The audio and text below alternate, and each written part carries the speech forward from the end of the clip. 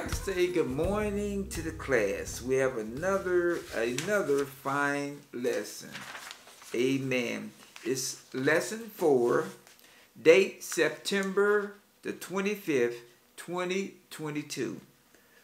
Unit one, God calls Abraham's family.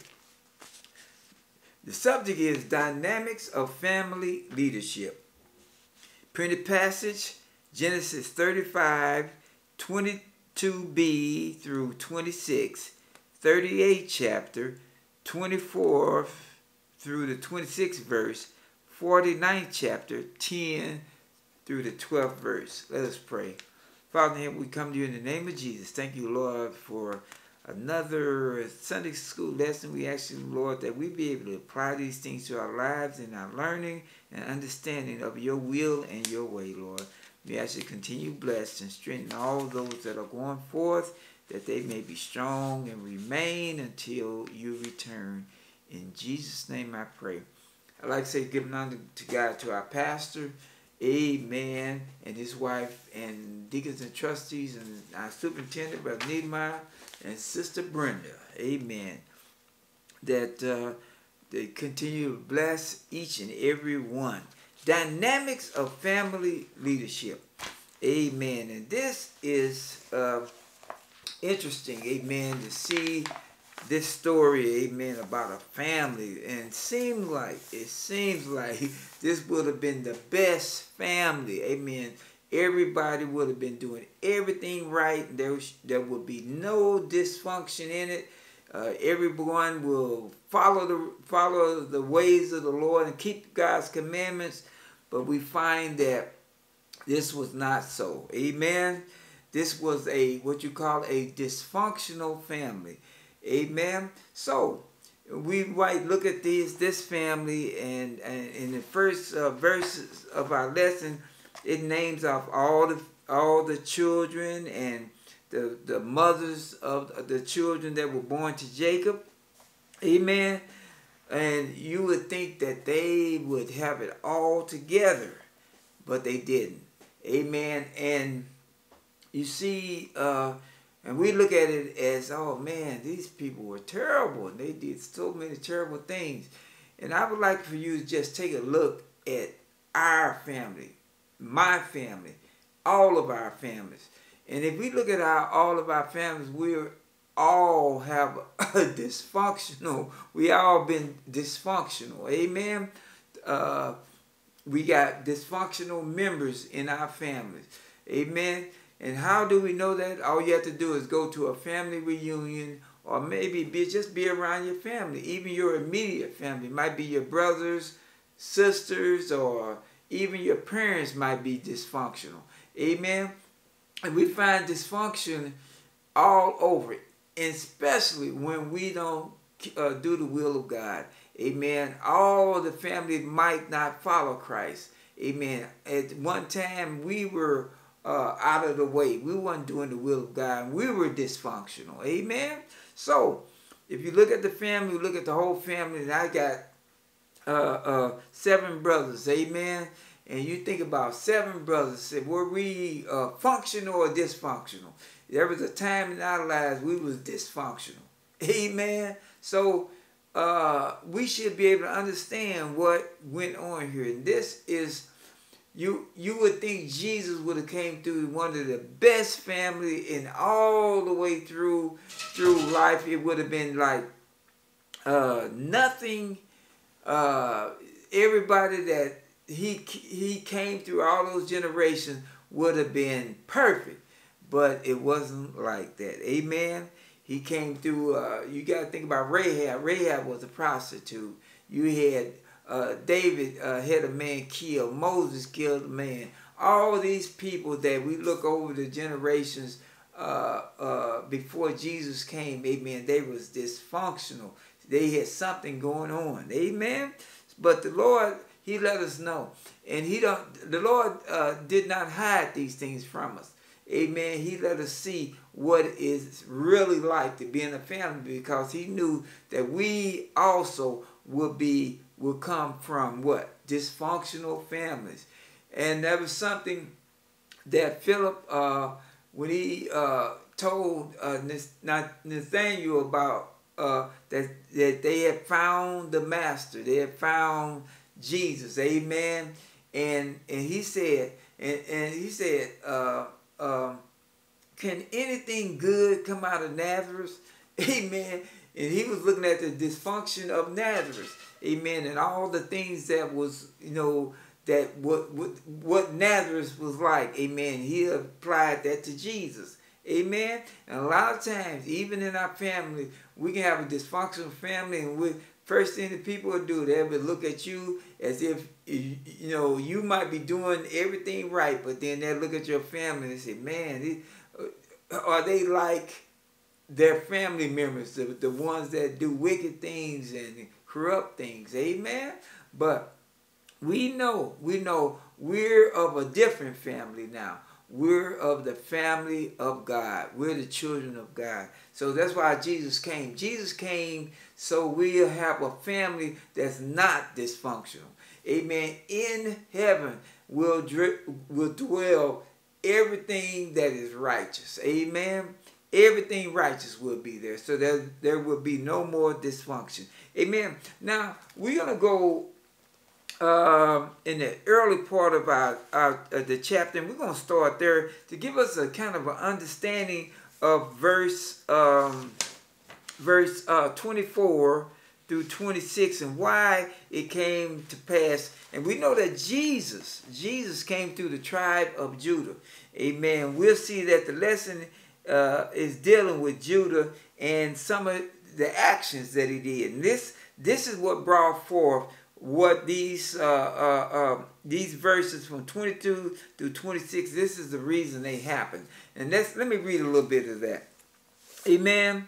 Um, uh, uh, let's start at the sixth verse of the 38th chapter. This was that it was telling about the uh, the sons that was born to born to Judah.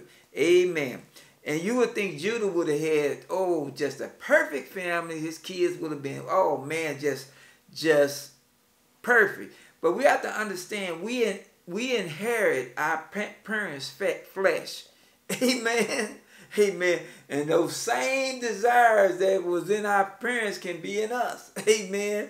Amen. We inherit the same, we inherit their flesh. Amen. Part, part us, part mama, and part daddy. Amen. So, amen. Now let's look at this. The sixth verse says, And Judah took a wife for his for Er, his firstborn, whose name was Tamar and that and we see that she's going to play a role in in our lesson amen and Er Judah's firstborn was what wicked you hear that wicked in the sight of the Lord and the Lord slew him killed him took him out amen because he was wicked amen and you would think say Lord well this is Judah's son you know you know we he's going to be uh just great you know, he, he's not going to have any problem out his kids, but he did.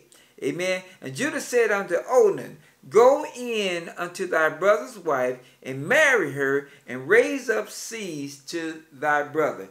Amen. And let's go quickly before we move from that verse. Let's go quickly and we go to the um, uh, the 20th chapter of Luke. And when Jesus was confronted with that very question about uh, seven brothers uh, taking one one to wife. and They had told him to Jesus, but they was trying to tempt Jesus at that, that time. Amen. Um, uh, and let's start the 20, the 20th chapter and the uh, 27 verse 8. Then came to him certain of the Sadducees which denied that there is any resurrection, and they asked him, saying, Master, Moses wrote unto us, if a man's brother die, having a wife, and he die without children, that his brother should take, take his wife and raise up seed unto his brother. Amen. So they went on to say seven, but the seven, all you know, one brother married, then then then that brother died. Then it, it it was it was about seven of them in all. So, uh, uh, but they was asking toward the resurrection. But we see that Jesus was faced with that question of, you know, who whose wife is that going to be? But we find out in lesson that uh, uh, um, uh, Judah was just fulfilling. He was trying to fulfill what the what the word of the Lord said. Uh, that the brother, the next oldest brother, have to take uh, uh, uh, the brother that died, wife, and raise up seed for uh, to their brother to honor their brother. Amen. So the eighth verse says, I mean ninth verse says, and Onan knew that the seed should not be his. You hear that? And it came to pass when when he went in unto his brother's wife that he spilled it on the ground. So he practiced uh, um, uh, contraceptive. He he did natural contraceptive. I put it like that. He tried natural contra contraceptive to keep from uh, having a child uh, uh, unto his brother least that he should give seed to his brother. So he did that. He he did it on his own. So you find look at look at the children. Look at how the children were even even uh, uh, deceitful. Amen.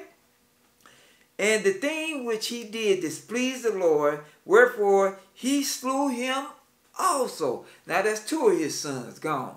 Amen. Because they disobeyed and did evil in the sight of God. Amen. And did not follow what the Lord had asked them, uh, uh, uh, had commanded for them to do. Amen. Uh, then said Judah to Tamar, his daughter-in-law. Now this here is where, where, where we find our lesson. This is where it come in. Amen. This is where it's where it all started. Amen.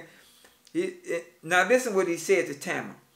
Then Judah said to Tamar, his daughter-in-law, Remain a widow at thy father's house till Shelah, my son, be grown. That was the youngest son, so he wasn't old enough to have a wife at that time. So he was going to give Shelah to the next son. Amen. But he was just too young. So, for Shelah, my son, be grown. For he said, Least peradventure he die also as his brethren did. And Tamar went and dwelt in her father's house. So he lived, she lived with him. Amen. Waiting, hoping that she will have children one day, eh, which will continue, uh, able her lineage uh, to keep going, or her husband lineage to keep going. Amen. And in in a process of time, the daughter of Shua, uh, uh, Judah's wife died. That that was his wife that he had these sons by. Amen. He uh, she died. Amen. And Judah was comforted and went up unto his uh, sheep herders, sheep shearers to Timnah. Uh, he and his friend Hira, uh, the Adamite. That was that was that was uh, uh, his wife's uh, father. Amen. And it was told Tamar, saying, Behold, thy father-in-law goeth up to Timnah eh, to shear his sheep. And she put her widow's garment off from her, and covered her with a veil, and wrapped herself, and sat in an open place which is by the way in Timnah. For she saw that Shelah was grown, and she she and she was not given unto him to wife. And you notice that they were all just making decisions on their own without consulting God. It just left God out of the picture. They just made decisions. Amen. And, and when we make decisions not including God, amen, we make very uh, uh, bad errors in our life. Amen. So she decided she was going to do it herself. And you saw that Sarah and Abraham, they tried to do it on their own. So, um, so, amen. Let's go back to, amen. Uh, when Judah saw her, he thought her to be a what? A harlot. And she knew what to put on. She knew what to dress up. She knew what type of attire to put on to attract him. Amen. Because his wife had just died. So, amen. I don't know if he was lonely or what, but he went in unto her. Amen. He uh uh uh got sexually involved with her. Amen. So, amen. So he turned in, by the way, and said, Go to, I pray thee, let me come in unto thee, for he knew that he knew not that she was his daughter-in-law. Now, you think about that. He by by not doing what God said, by fornicating, he went in uh, uh, uh, in unto his daughter-in-law. He he was sexually involved with his daughter-in-law, not knowing that was his daughter-in-law. And that's what a lot of things, amen, we do. We don't know what, a lot of times when we do immoral things, we don't know what the consequence is. We're like a, a ox going to the slaughter. It's like we're blind. We put blinders on and we're not looking at the situation. We just do it. Amen. But we find there is consequence in our actions. Amen. There are consequences in our action. Amen. And he said, I will send he said, and she said, What would thou give me that thou mayest come in unto me? Amen. So if you want to lay with me, you're going to have to pay me. If, that's what she was saying. But she was doing it so she knew that she was going to get pregnant by him. Amen. And a lot of times we know in the world today, women will, amen, they might, you know, a lot of times they're not interested. All they know they're going to get pregnant. Amen. But yet they do it anyway. Amen. How many children have been born just because of just lust? Amen. They not it's not because you're married, it's not because you you you love that person, it's just lust. Amen. And a child is conceived through lust. And how many men have children that is conceived through our lust? Amen. Just through the lust. Amen.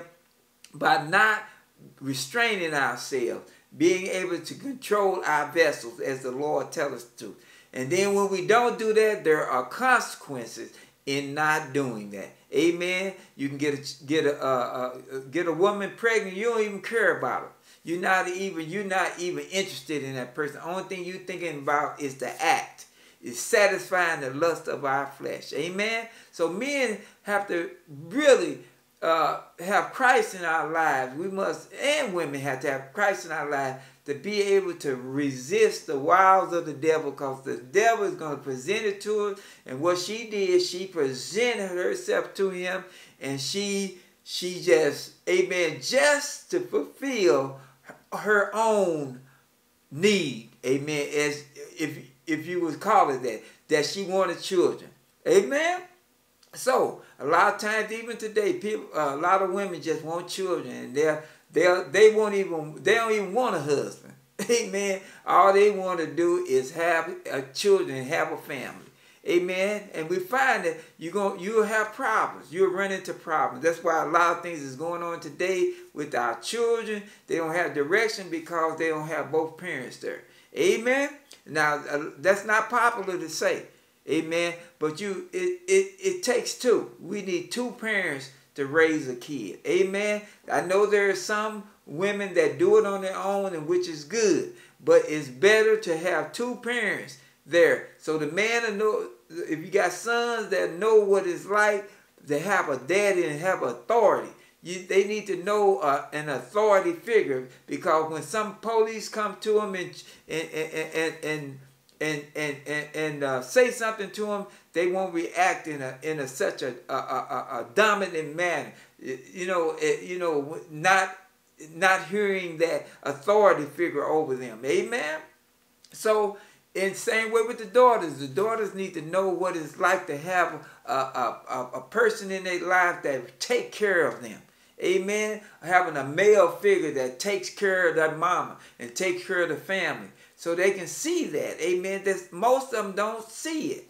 Amen. So they get choose guys that don't do anything. They don't they don't do much. Amen. So let me get back to the lesson. Amen. Uh so so uh let's go. Uh you say, and he said, I will send thee a kid from the flock, and she said, Wilt thou give me a pledge till thou send send it? So he was supposed to send her uh, a, a, a, a goat. Amen. That was the payment. Amen. And uh, and then he then she said, using wisdom, and that lets you know men, a lot of men just don't think. Amen. They just don't think. Amen. And she was thinking, but he wasn't. Amen. She, listen what she said. Without give me a pledge till thou send. And what she was doing was getting getting evidence that the let her know she knew when she once she her stomach started showing that they were gonna they were gonna they were gonna she was gonna be stoned for being for playing the harlot. Amen. As we see in our lesson. Amen. Amen. He gave her and came in unto her and she amen. And he said, What pledge shall I give thee? And she said, Thy signet, thy bracelet, and thy staff that is in thine hand. And he gave it her and came in unto her, and she conceived by him. She knew it. She knew it. She knew what she was doing. Amen. He was like an ox going to the slaughter. Amen. And she arose and went away and laid by her veil, laid by her veil from her and, and put on the garments of her widowhood. So she went right back and just went back to her regular, amen, the way she dressed being a widow at that time. Amen. And Judah sent the kid by the hand of the friend of the Adamite to receive his pledge from the woman's hand. But he found her not. Amen. Then he asked the men of the of that place, saying, Where is the harlot that was openly by the wayside. And they said, there was no harlot in this place. Amen. He, lot of trickery. In the family, oh my goodness, it was just tricking everybody, tricking somebody. Amen. And he returned to Judah and, and said, I cannot find her. Find her. And also the men of the place said that there was no harlot in this place. And Judah said, Let her take uh, let her take it to her, lest we be shamed. Now he's worried about being ashamed. It was shame what he did. Amen. Amen. Lest we be shamed. Behold, I sent this kid, and thou hast not found her. Amen. He's worried about the pledge that he made to to a, to uh, what he thought was a prostitute. Amen.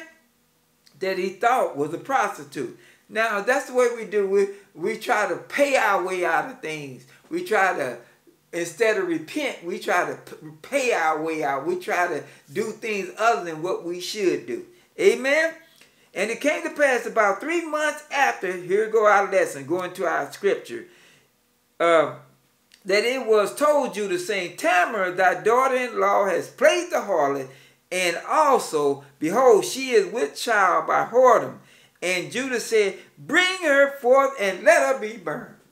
And that's the, that's the way we are. We want to kill anything, kill it, get rid of it. Look at what they did, and then we don't look at what we've done in our lives. Amen. We don't have compassion. We don't have mercy. And the first thing, same thing David did. David said, Death to the man when he thought it was somebody else that had, had taken somebody's wife then when Nathan told him that he was the man, amen, it, it hit him hard. Amen. And the same way with Judah. Judah was ready to burn her. And he was, you know, when he was doing it, he, he, he the Lord didn't burn him, but he's ready to burn, burn her. It's just like the disciples said when they, they found out somebody was uh, the, the was uh, uh, uh, they the people wouldn't listen to him or uh, someone someone was uh, uh, not following what Jesus said, they say, should we call for fire to come down from heaven to come upon them? Amen. Amen. He said, you you don't know what kind of spirit you are, you are of. You, you don't know what's in you because they were just as just a short time before that they they were just as bad and then Think about this. They ran away and left Jesus uh, just a little later after that. Amen. So we have to be careful. We can pronounce things on ourselves. Amen. By judging others. The same judgment you meet, you you uh, put out there can be brought right back on you. Amen. Now, let's go a little further. And it came to pass, uh, let's see, when she, she, she was brought forth, she sent to her father-in-law, saying, By the man who these are, am I with child. And she said, Discern, I pray thee, whose are these, the signet, amen, and the bracelet, and the staff. Amen. I know they had to strike him hard. Amen. You imagine just like those men was finna stone that woman for, for being caught in the act of adultery, and Jesus rolled on the ground, and he, amen, he, he, I don't know what he wrote on the ground, but he said, he said, uh, uh, uh, he that has no sin, let him cast the first stone. Amen. And they all walked away sad. Amen. And he asked, he asked the woman, he said, where are your accusers? Amen. Is there anyone here to accuse you? Say, no man. Amen. And then he told her, say, go and sin no more. amen. Come on, say amen, somebody. So he she had evidence. And she knew what was going to happen. She was thinking ahead. Amen. But Judah wasn't. Amen. He thought he was in the clear because, no, man, nobody saw me. Nobody, but listen, things can come back. Amen. You might think you're not. God see everything. Amen. He will expose you. He will expose you. And Judah, Judah was exposed. Amen. Now let's go a little further. And Judah acknowledged them and said, She has more righteousness than I. And that was the truth. Amen. Because that I gave her not to Shelah my son, and he knew her again no more. Amen. He what did what did he do? He repented. He repented. Amen. Like some of his other brothers, amen, they didn't repent. They they were not repentant. Amen. So he had to acknowledge that she was more righteous than than he was. Remember the two people that the publican, I mean the the uh, uh, the two men that went up to pray and they prayed, and one was praying about all the things, good things he, he had did, and fasted and paid his tithe and did this. And then there was this publican just beating on his chest and, and, and, and wouldn't even raise his head because he said, you know, he said, I'm a sinner. I'm, you know, I'm a sinner. And which one went up more justified? The publican, because he admitted his sin. Amen. He admitted. If we confess our sins, the Lord is faithful to forgive us, amen, of our sins, amen. So, so, amen. So this this family, oh my goodness, oh, had oh a lot going on, amen. Now let's go to the tenth verse, and this is what it said about about Judah. The scepter shall not depart from Judah. So we so know that many kings came through Judah, and the King of Kings came through Judah. Amen. Jesus, Jesus, this was, this was the lineage from the lineage of Jesus. Amen. It came all of those generations. Amen. Jesus came. Uh, Jesus put a stop to it. He put he halted it. He said, That's it. It's over. The King of Kings is here. Follow me. If we follow Jesus, now we don't have to follow all those things that that are, uh, are people that have been contrary to the word of God. Amen. What does the Lord say? He says, follow me.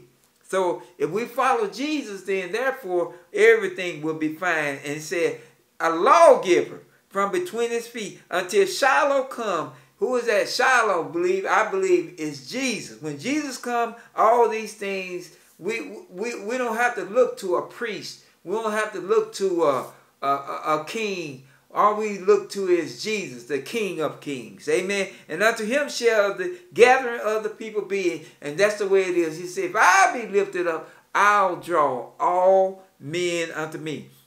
Binding his foal unto the vine. So the Lord is, he's dedicated forever and ever and ever. He's dedicated to uh, his people. And he, he he's here forever. Continual priest. Amen. We don't have to worry about uh, uh, uh, uh, finding any other. Jesus is it. He's the main, he's he's the Son of God, and he's here forever to, to make intercessions for us. Amen. And keep us in line through his spirit, through the Holy Spirit. Keep us in line with his will. Amen. So there will be no a lawgiver. Jesus will never depart. He will never leave us. He'll never forsake us. Amen. Never. We never have to worry about it anymore. Amen. People are doing all these things that we read about that Judah, Judah was doing and, and, and the brothers was doing. Amen. And his parents and all those before him. Amen. Those things are happening today. But we have a leader that did none of those things. And we can look to him and we sometimes you'll get discouraged and you'll be like, oh man, look at what people are doing. But boy, but when you open this word up and you when when you look at what Jesus did, it just wipe all that out. He said he'll give you peace that surpasses all understanding. All understanding. So, amen. So we don't have to worry about the dysfunction of the family. Amen. Because Jesus put the function back in the family. amen. He put the function back. He made us, amen. You know, when the children uh, of uh, when uh, Adam and Eve, when they was cast out of the garden, they went into the uh, the world, the uh, dysfunction. But really, the way we should be living is the way Adam and Eve was in the beginning. Amen. They have all this stuff going on. Amen. Now we're in a dysfunctional world trying to get back to the the function, the real way uh, uh, we should be living. Amen. So we're in dysfunction, but the Lord will bring us back. Amen. He'll make us functional again. He'll take broken pieces and fit them, fit them back together. We're all broken. Amen. And the Lord take our lives and put them back together. Then when he put us back together, he'll take us and make us, he'll make cups and plates and, and saucers and different things. He'll put them back together, then they can be used for his service. Amen. And we want to be used for the service of the Lord. Amen. This is what he'll do. He'll make us dynamic leaders. Amen. He'll take the the from the from the worst. Amen. Some of us have been terrible. Amen. But he'll take us and mold us and make us into what he wants us to be. Amen. Ain't that a blessing? So we'll know how we should live and, and uh, how we should live and the way to the kingdom of God. Then we can we can share that with others. Amen. So, dynamics of family leadership. Amen. And there is a lot of dynamics in being a family, being in a family. Amen. So, there's always something. Amen. Man is but of a few days, but it is full of trouble. And amen. And we know in this life, there is a lot of trouble. Amen. So, family of God. We are the family of God. And we how do we know that we're uh, uh, uh, God's disciples or Christ's disciples? Is that we love the brother, brother. So if we love one another and truly love one another, show love toward one another, we are his disciples. Amen. As Jesus loved us, we're to love one another. Amen. On that note, amen. Leadership. Amen. Let's lead, not not follow the world, but let's lead the world to Christ. Amen. And on that note, I'd like to say, be blessed, leaders.